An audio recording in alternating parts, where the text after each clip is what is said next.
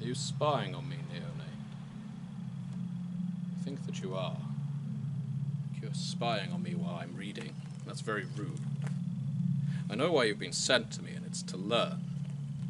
You should at least announce your presence when you're in the company of a gentleman. And I should introduce myself. I am a gentleman, I am a Cainite, sometimes known as a kindred. Although both epithets are likely to fall out of popular use in coming years due to certain scrutinies laid upon our kind. I know you have questions, I can see it on your face. You want to know what you are, who you are, what is this society you belong to, and what book is it that you're reading. Well, that's a good way to start. This book is known as the Jyhad Diary. It's a loaded name, I'm sure you would agree. It's by a scholar of our kind by the name of Beckett. And there have been many books important to our kind the Book of Nod, the Revelations of the Dark Mother, the Erciyes Fragments, the Shal Fragment, the Book of the Grave War in recent years. Books have often led to watershed moments for our kind, or tablets, scratchings on a slab. They've also led to great downfalls, changes in our fates. This is one such tome, and we will get onto its importance in short order. I can also see you're wondering why we are here. Why are we not in some hustling, bustling city? Why are we not meeting in some skyscraper or a nightclub? And that is because there is no surveillance here. As ironic as it might seem, they don't watch the churches, they don't watch the graveyards. And so, we are here using their bastions as cover. I suppose you want to know a little about our past. So let's talk about the past. And the past is, as they say, prologue. You need prologue in order to know the tale that you are experiencing now. Without it, there is no context. Context is important. So let us talk about origins. There are many supposed origins to our kind, many potential progenitors. Some name Cain, the first murderer from the Bible. If you've not read the Bible, I recommend it. You might learn something. Lilith, Set, all kinds of vampires are named, even Mithras from time to time, the god emperor, unconquered sun. But the point is, most of our societies believe that there was one vampire to start it all. That vampire embraced a handful of childer. And those childer embraced another set a score, maybe more, 13 around that number. And it's those vampires that are important to our story because 13 antediluvians, as they became known, the third generation. Antediluvian because they survived the great flood of the Bible, that one Noah made so famous. They came before the flood.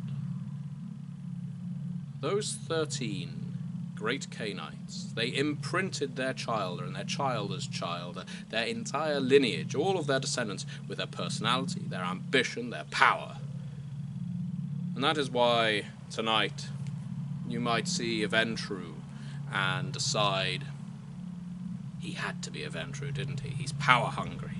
He's a prince. He is of the clan of kings. And he may look at a La Sombra and say, well, that one skulks in the darkness, tries to use it as a weapon has no airs or graces, just bullies and dominates his way around. Now, the reason for this stereotype is because the antediluvians had personalities and they were so powerful, their vitae, their blood, so rich that they could form lineages, as we call them clans, families of vampires.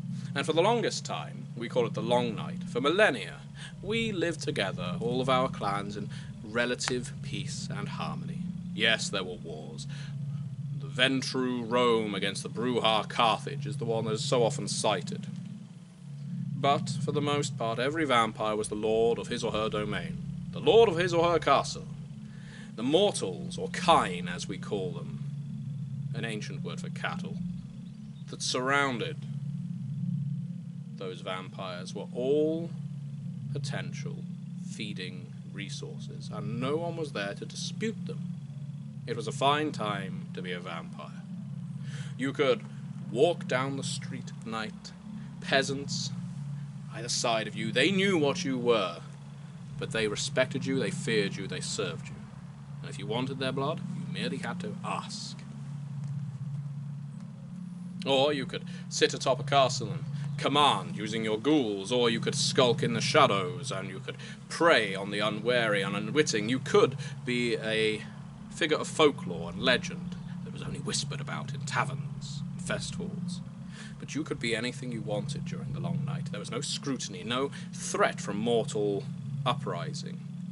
The only enemies we had were ourselves, giving in to our beast, our carnal hunger. And most Cainites had that kind of thing under control. But all good things must come to an end, and so came the War of Princes. Around the time many mortals call the Middle Ages, we referred to it as our Dark Age, because the War of Princes signaled the end to many things. Our borders, our territories started clashing with one another. Ventrue and Tremere went to war with Tzimisce, Brujah warred with Toreador, La Sombra launched their Shadow Crusade against the Banu Haqim, using the Mortal Crusades as cover. All of a sudden, we were at each other's throats. We were no longer just playing the game of being prince. We were fighting for other princedoms, to take them, to annex them, to gain larger herds and great tracts of land, fine properties, and all the relics within them. Uh, there was an excitement there. It was enjoyable, I have to admit. Some of the times during the War of Princes, I never felt more alive. But the War of Princes was not all gay abandon. We made several mistakes. Many princes, especially of clans Ventrue, Tzimisce, La Sombra, they would throw their neonates, their fledglings, vampires like you, into the mouth of the enemy by the dozen to make them fall. They had no care for their descendants, they just wished to gain territory. And so, like mortal governments with their armies to get today, you, you just don't care for the soldier's life, you don't care for the army. They are expendable assets, and so was the same for Childer uh, like you. As you can imagine, you probably wouldn't like that much.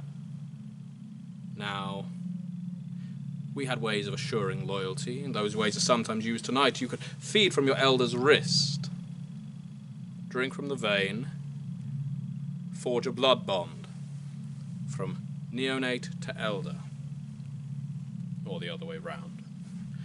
The elder, having bound the child, would be able to issue a command, and that child would feel very much inclined to follow the elder's whim. This was not just being loyal to a prince, this was blood slavery. And those with enough free mind to rebel against it did so in an event called the Anarch Revolt, which we will get onto. Remember that term. It was not just the unruly anarchs who spawned from these sects known as Prometheans and Furores that led to the end of the War of Princes and where we are now. It was also the mortals, because Cainites had a tendency of using mortals like pieces on a chessboard, move them around, bonded great kings and warlords, powerful people, and used them as daytime resources.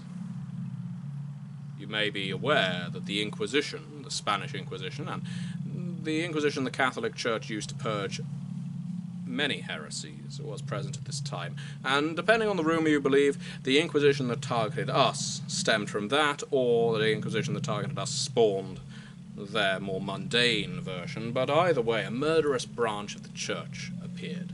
Murderous toward us, and werewolves, and magicians, and other creatures of the night.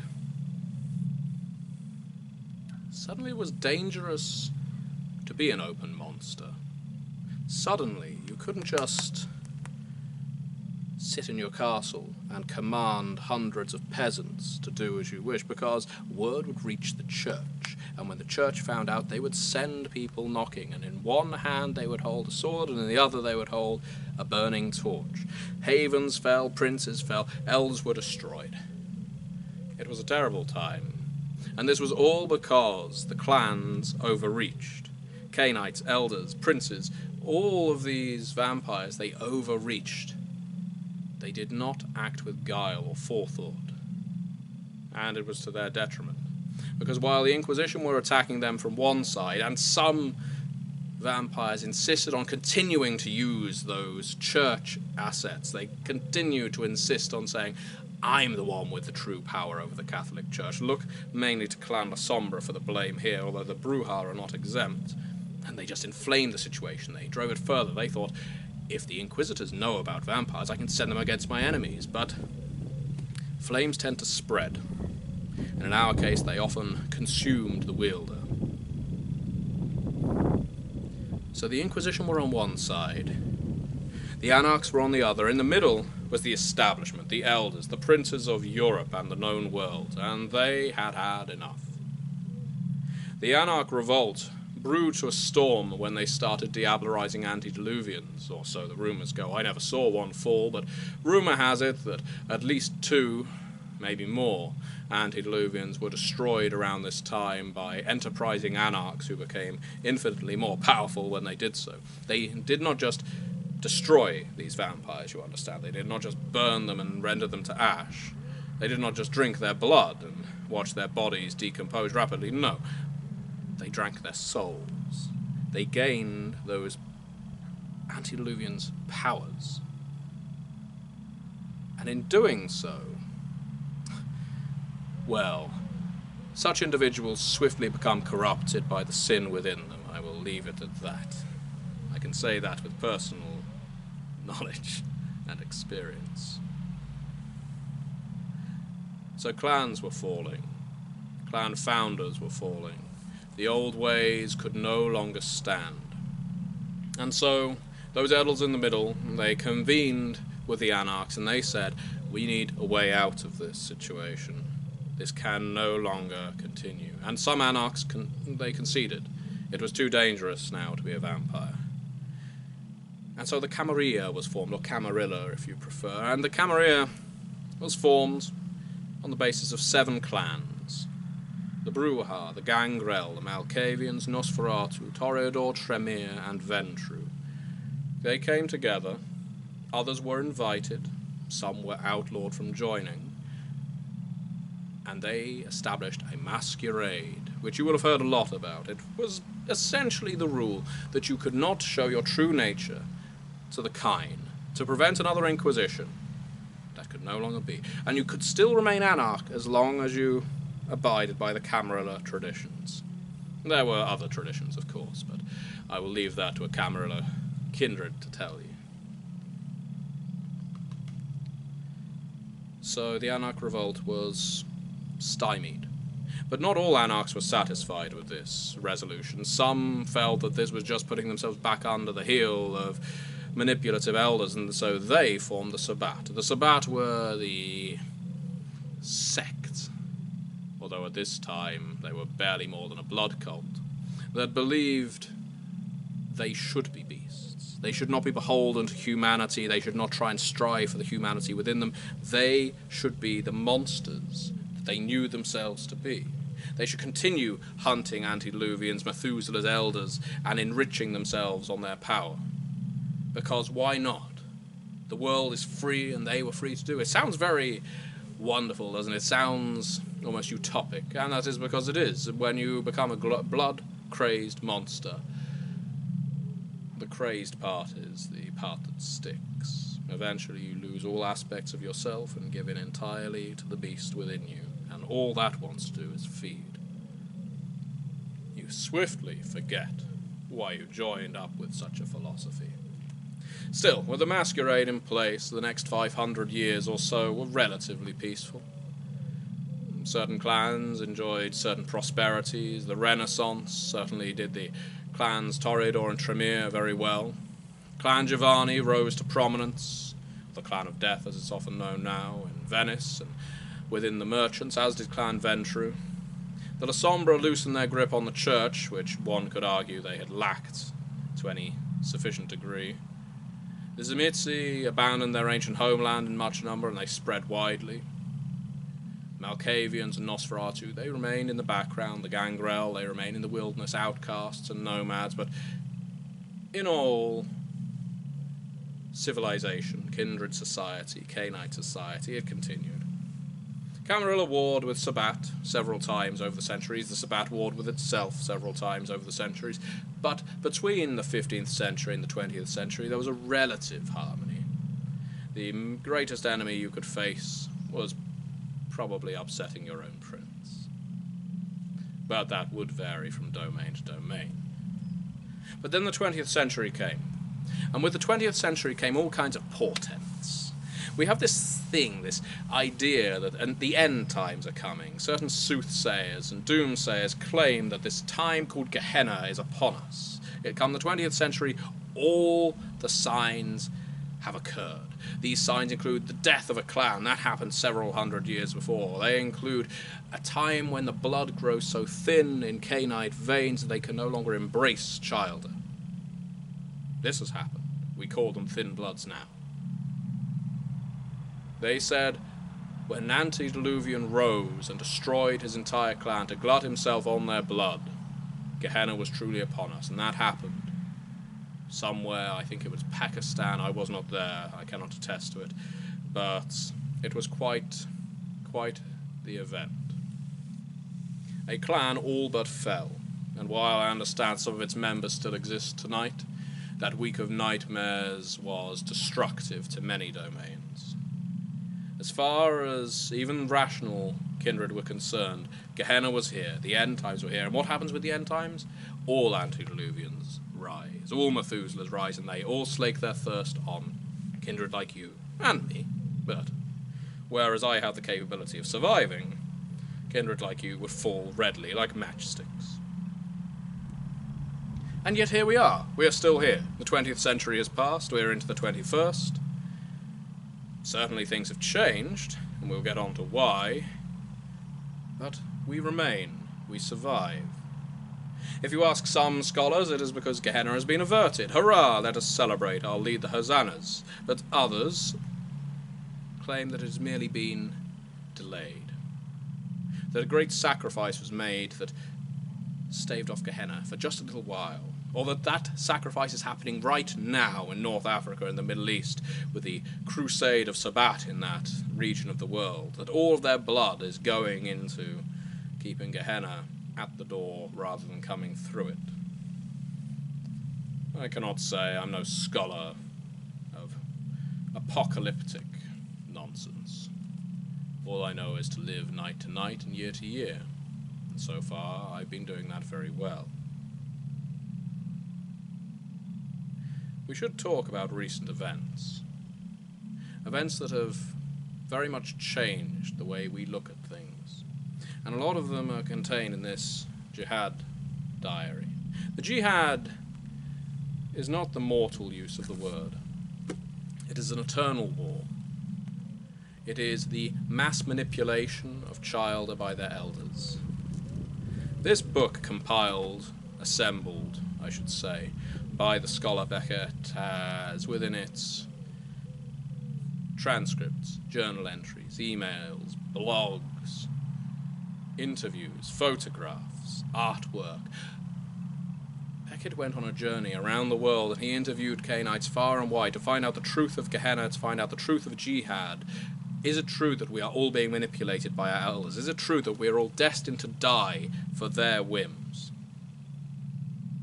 And it is quite a fascinating book. Even I'm in here, although everything written about me is a lie.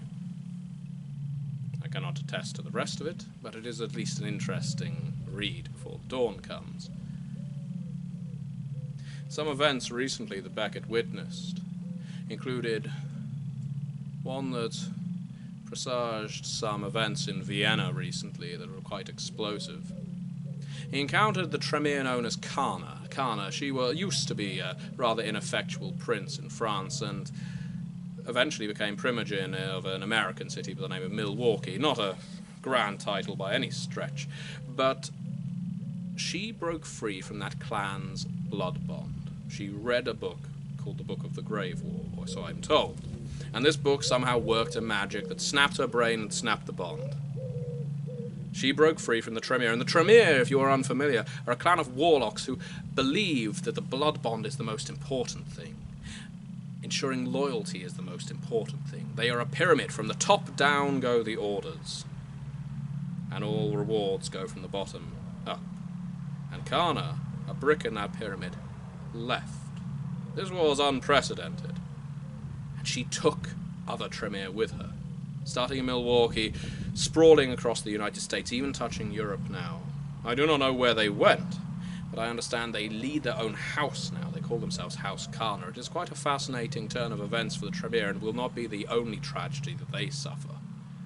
Most curiously, there was no great retribution from Vienna, where the Tremere's sanctuary can be found, I am given to understand, or could be found, I should say. Certainly, some traditions remain the same. The vying for political power over domains such as Chicago continues. Same with Los Angeles, with its pretensions of being an anarch free state. But some changes, massive changes, occur in domains such as Washington, D.C., the very home of information. The great and ancient La Sombra, Marcus Vitel, emerges from the dark, thought dead, takes the city from the Sabbat, and declares for neither Camarilla or Sabbat, and says, This city is open to all outsiders. It is sanctuary for all from the Jyhad, for apparently Vitel was tired of being manipulated. This ancient Roman, and he said, You are all free to reside here, to take sanctuary to my bosom, as long as you serve me. He has all the graces of a mafia chieftain, but Marcus Vitel does very well by it. There is talk of demons rumbling beneath domains like Montreal. There has always been talk of that. There is the talk of the Fourth Sabbat Civil War starting in Mexico City. I cannot claim that is accurate because Mexico City has been largely vacated in recent years, what with the mass migration of Sabbat across the Atlantic and into more heated areas. The Giovanni, the clan of death, as I have already mentioned, have undergone several changes. The many faces of the clan of death have risen from the dead to show that the clan of death will constantly change, and now they hide away, whether in Venice. I understand they even have some holdings in Sicily now, which is interesting. I wonder which La Sombra they made deals with to share that isle with Castel d'Ombro the followers of Set and the Banu Haqim, both. The Banu Haqim were often, in case you have misheard, been referred to as the Assamites. Do not call them that. They do not like that. They have never liked that. They prefer the Banu Haqim, so that is how I will refer to them. And you would do well to do the same. Those two clans, prominently based in the Middle East, North Africa, have both made overtures towards the big sects the Camarilla, the Anarchs. It seems they wish to forego their independence because they can see something coming, and whether it is merely the army of Sabbat marching on their territory and finally they realize they need allies, or whether it is another reason, it seems at least one of the sects is going to have its numbers bolstered before long. Strange things arise. Spectre of an ancient antediluvian emerging over the Alps and pursuing vampires willy nilly. House Tremere and Clan Tremere suffering massive fractures, both as a result of their ancient diablerie of another clan founder and due to internal conflicts surrounding philosophy, not just related to Carna. I understand Karl Schrekt is a very influential Tremere in these nights. The Brujah, a clan that could often be typified by not having a stereotype, have somehow, in large part, fallen into step with one another marched in the same direction. Just the last few years, it is amazing to see the changes that Gehenna can bring. But it is not just Gehenna that is bringing these changes. Certain organizations of kindred, certain organizations of mortals have pressed us into making changes to our lifestyle, shall we call them, existences. There are more eyes on us these nights, you understand, both each other and from the mortals. It is a time for another Inquisition, a second Inquisition, and we are feeling its effects tonight and for the last few years, and I imagine it will go on for some time because once again we made the terrible decision to overreach, but that is probably a subject for another talk. Many of these things that I speak of are within this Jyhad diary, and you may be thinking, well, that is an interesting trove of information, gentlemen, but how am I supposed to get hold of it? Well, in a way, be grateful because there is a red lister, as the Camarilla calls them, a, an anathema a Cainite so vile and base that the Camarilla believe all good Cainites should be seeking out her destruction. Her name is Kemintiri. She gained access to Beckett's diary, and I am given to understand she disseminated it widely to allies and enemies alike, maybe even mortal institutions. So perhaps that explains some of our position tonight. Why we are in such peril.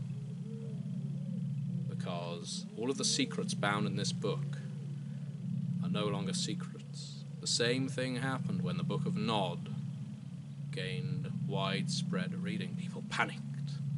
The end times became near. When the Book of the Grave War was read by Carna, people changed. The blood changed. Our history has power, and you would do well to know it in order to know your future. I suppose uh, we should conclude. It is often best to move between locations, stay in not one place for too long a time because, as I say, there are certain eyes on us. I would certainly recommend, little neonate, that you do not travel to Jerusalem. There is a buzz of Malkavian activity in that city, and if rumors are to be believed, it may be because their founder is waking up beneath that already hostile capital.